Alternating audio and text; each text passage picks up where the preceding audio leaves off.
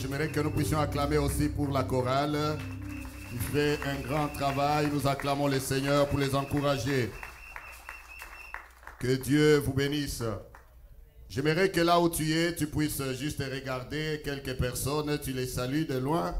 Tu fais juste ceci avec un bon sourire, même si c'est caché dans le masque, mais toi tu sais que ton esprit rit et sourit. Amen. Gloire au Seigneur. Alléluia. Et nous saluons également ceux-là qui nous suivent à distance de la maison ou de partout où vous êtes. Que la grâce de Dieu soit également avec vous. Je rappelle tout simplement que nous offrirons à la fin, nous allons, nous prendrons nos enveloppes ou bien nous offrirons à travers notre machine Interact ou bien à travers l'email transfert, mais ça sera à la fin du culte. Mais j'aimerais juste rappeler rapidement, n'est-ce pas, euh, quelques annonces que nous donnions déjà depuis le dimanche passé. C'est que nous avons prière d'intercession chaque mardi. Nous le faisons dans le sanctuaire à partir de 18h30 jusqu'à 19h30. Jusque-là, nos services ou nos réunions sont réduits comme vous le constatez. Et aussi notre culte de la semaine, c'est chaque mercredi à partir de 19h, mais cette fois-là jusqu'à 20h30. Amen.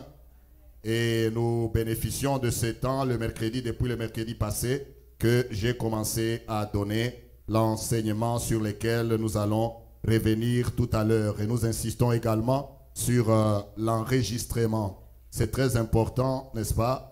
Euh, Facilitons-nous la tâche, facilitons la tâche à notre service d'accueil ou le protocole, ainsi que à l'administration pour que euh, nous ayons, n'est-ce pas, à mieux suivre toutes les recommandations. Donc, si vous ne savez pas comment le faire, vous n'avez qu'à aller ou bien à demander un lien, soit aux anciens ou à l'administration.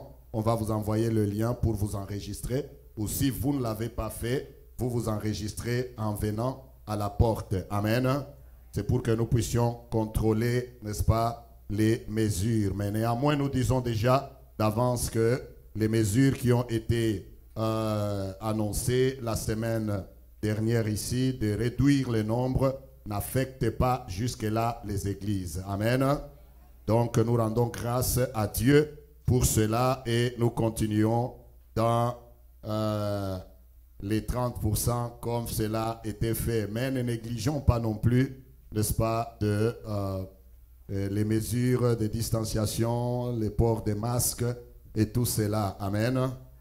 Amen. Amen. Que Dieu vous bénisse. Alléluia.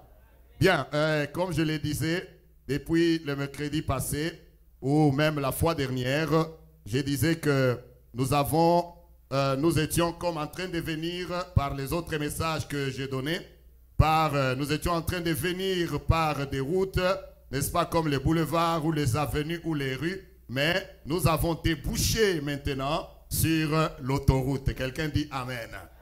Pourquoi je disais cela? C'est en fonction des autres messages que nous avons donnés dans les temps qui a couru jusqu'à maintenant. Mais j'ai senti en moi la conviction totale poussée par l'Esprit de Dieu parce que j'étais en train de prier il y a un temps en arrière et je, je disais à Dieu de me donner un message. Pendant que j'étais en train de vouloir atterrir avec la restauration. Quand j'ai juste entendu seulement une fois par le Saint-Esprit me dire et les doctrines. Amen. Et les doctrines. Ça veut dire quoi? Les enseignements des apôtres. Et je me suis réalisé et rendu compte que c'est vrai. Nous enseignons tout ce que nous voulons. Nous touchons à beaucoup de sujets. N'est-ce pas Que nous cherchons par-ci par-là L'Esprit de Dieu nous inspire, mais de plus en plus, l'Église est en train de laisser de côté la voie tracée par les apôtres. La voie tracée par les pères de l'Église. La voie tracée, c'est la raison pour laquelle aujourd'hui il y a plein de bavures. Il y a plein d'histoires dans les choses de Dieu. Il y a n'importe quoi. Surtout nous sommes dans la période de, avec la technologie qui fait que pour la plupart des fois, aujourd'hui, la foi devient vacillante. Pourquoi? Parce que l'Église n'est plus enseignée. La Bible dit dans Actes des Apôtres que la première Église, l'Église primitive, il persévérait dans l'enseignement des apôtres. Quelqu'un dit Amen. Je voudrais que nous lisions juste ce passage-là et nous allons partir. Je vais juste rappeler brièvement ce que je disais la fois passée et nous allons parler des caractères de Dieu ce midi. Quelqu'un dit Amen. Nous devons connaître Dieu.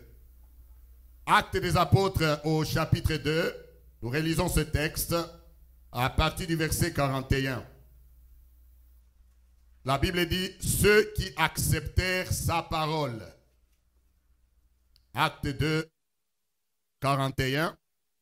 Ceux qui acceptèrent sa parole furent baptisés. Et en ce jour-là, le nombre des disciples s'augmenta d'environ 3000 âmes. Verset 42, il dit, il persévérait dans quoi? Il persévérait dans l'enseignement des apôtres, dans la communion fraternelle, dans la fraction du pain et dans les prières. La crainte s'emparait de chacun et il se faisait beaucoup de prodiges et de miracles par les apôtres. Tous ceux qui croyaient étaient dans le même lieu. Et ils avaient tout en commun. Ils vendaient leurs propriétés et leurs biens et ils en partageaient le produit entre tous selon les besoins de chacun. Ils étaient chaque jour tous ensemble assidus au temple. Ils rompaient les pains dans les maisons et prenaient leur nourriture avec joie et simplicité de cœur, louant Dieu et trouvant grâce auprès de tout le peuple.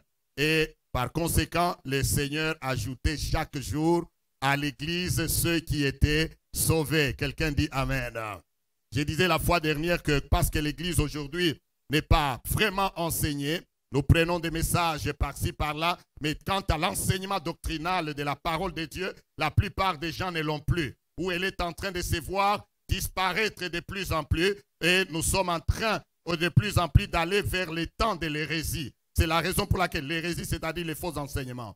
C'est la raison pour laquelle vous voyez beaucoup de gens, j'ai donné même l'exemple la fois dernière, que vous allez voir des gens aujourd'hui, des intellectuels, mais ils sont facilement trompés.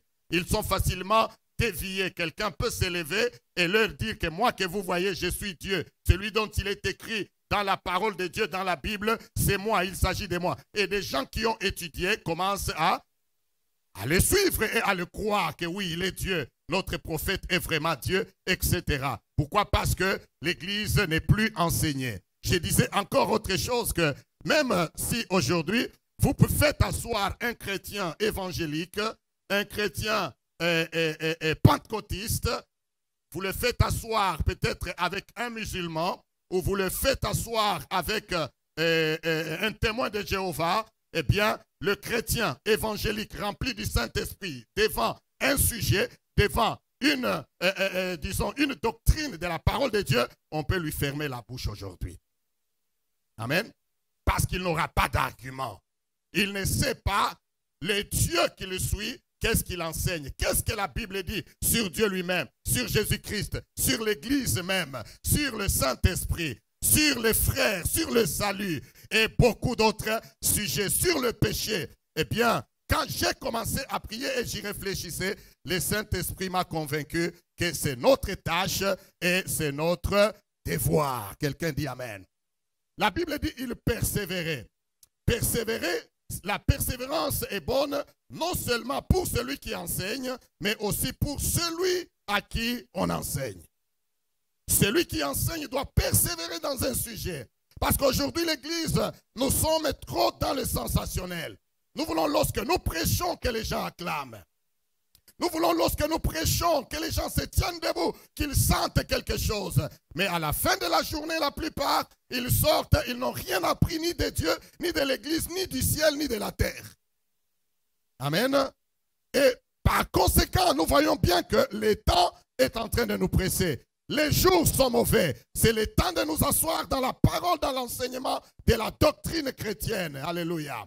C'est le temps que tu saches d'où nous sommes, où nous sommes, d'où nous venons et où est-ce que nous allons. C'est la raison pour laquelle Dieu nous faisant grâce, nous enseignerons aussi sur le, temps de la fin dans lequel nous sommes en train d'aller droit, n'est-ce pas, d'aller tout droit pour entrer dans ce temps-là avec les choses qui se passent. Ma prière a toujours été que la foi de chaque enfant de Dieu reste affermie, soit solide, soit ancrée, non pas dans les habitudes, non pas dans les choses vaines, mais que ta foi soit assise dans la parole de Dieu.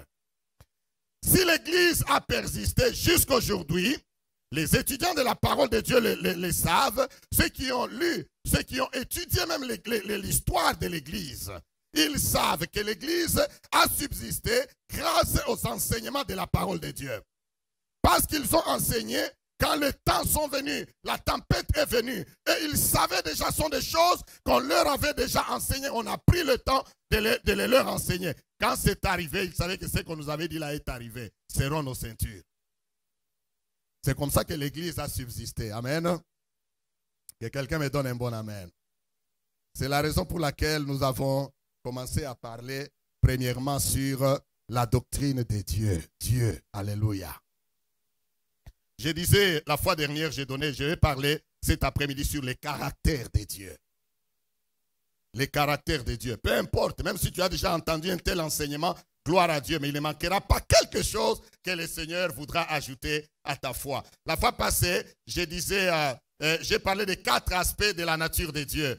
Premièrement, j'ai parlé de sa spiritualité. Dieu est esprit et nous l'avons démontré dans les autres angles également. Je n'ai plus besoin de revenir là-dessus. Et nous avons touché un peu à ce que, euh, pourquoi il est esprit, mais pourquoi nous lui donnons aussi les oreilles, nous lui donnons les yeux, nous lui donnons les pieds. Amen.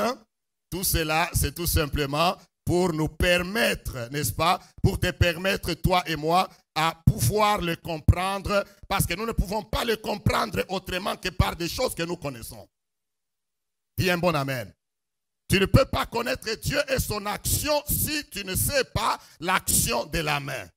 Nous disons que Dieu a une main, nous sommes dans ses mains parce que nous savons que quand quelque chose est dans ses mains et dans nos mains, c'est difficile, nous tenons ça fortement. Quand nous disons que Dieu a la main, nous sommes dans la main de Dieu, ça ne veut pas dire que Dieu a une main comme la tienne et la mienne. C'est pour te permettre de comprendre que donc Dieu se comporte envers moi comme je prends mon téléphone qui est dans ma main. Je ne peux pas le lâcher facilement. De même, celui qui est dans les mains de Dieu, Dieu ne le lâchera pas facilement. Oh, quelqu'un dit un bon Amen. Nous avons parlé de ces choses la fois dernière. Nous avions dit qu'il est indépendant. Notre Dieu ne dépend pas, ne dépend de rien. Son existence ne dépend pas de qui que ce soit, ni de la nature, ni des temps par lesquels nous traversons. Notre Dieu est autosuffisant. C'est pourquoi quand tu pries, hein, et foi en ces dieux, vois la grandeur de ces dieux, je vais en parler tout à l'heure, et ne tremble pas. De même, tel il est, tel nous sommes. Alléluia.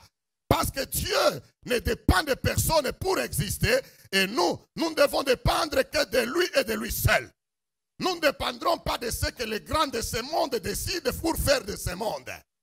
Nous ne dépendrons pas de ce que c'est par la fondation Bill Gates décidera de faire de ce monde. Quelqu'un dit Amen. Dis d'abord, je dépends de Dieu. Tu dépends de Dieu. De la même manière que ton Dieu, il est là, il s'autosuffit. Et nous aussi, nous nous autosuffisons en lui. J'ai touché un peu à son immensité. Je ne vais pas, je ne vais plus revenir à cela. L'immensité de Dieu. Dieu n'est pas limité par l'espace. Amen. Et son éternité. Dieu est infini par rapport au temps. C'est nous, toi et moi, qui sommes dans le temps. Alléluia. Toi et moi, nous sommes dans, dans le temps. Nous voyons le jour, nous voyons la nuit. Auprès de Dieu, il n'y a pas de jour, il n'y a pas de nuit. Dieu voit tout en un instant. C'est pourquoi il est capable de voir ta vie où tu as commencé et où tu finiras. C'est pourquoi il sait mettre même sur pied des mécanismes déjà de protection avant même que toi tu ne le saches avant que tu n'ailles tomber dans un piège diabolique, Dieu le sait déjà. Et il met des moyens sur pied pour t'épargner de tout cela. Avant que les sorciers ne s'asseyent, commencent à comploter contre ta vie pour dire que l'année prochaine ou le mois prochain, nous lui ferons ceci. Toi, tu ne sais rien. Mais j'aimerais te rassurer, ton Dieu, lui n'est pas de temps, il n'est pas surpris. Il sait déjà ce qu'on planifie contre toi demain. Et il a déjà mis des fois ses moyens, des mécanismes pour t'aider à t'en sortir et tu t'en sortiras, tu t'en sortiras certainement. Parce que ton Dieu n'est pas surpris par les temps ni par les circonstances. Notre Dieu vit dans un jour de l'éternité. Quelqu'un dit Amen.